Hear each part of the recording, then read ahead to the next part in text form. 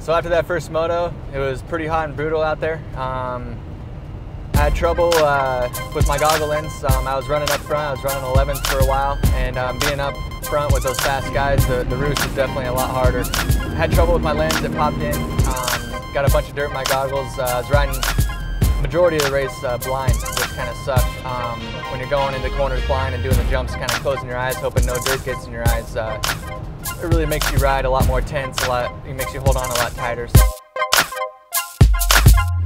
getting tired, man. I uh, like passed like Braden and a couple of those other fast guys, and I'm just not used to it, so I pumped up right away. But you know, I can't complain. First race out of the way, uh, built from here. After the moto, just kind of took my helmet off, rode my uh, bike back to the trailer, when I got there, uh, it's kind of ungeared. Um, sat there in the shade. I didn't have the luxury of a air-conditioned room like the factory guys.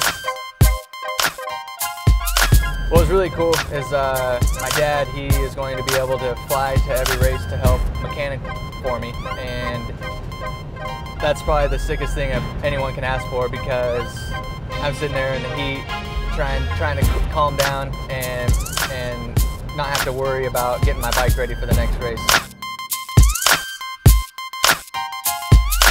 Anything and everything that needs to be done to the bike, he does everything he can in his power. So um, after that, um, I just kind of threw on a new set of One Industries gear and got my goggle situation all figured out. And uh, after that, regrouped and got in the gate for the second moto.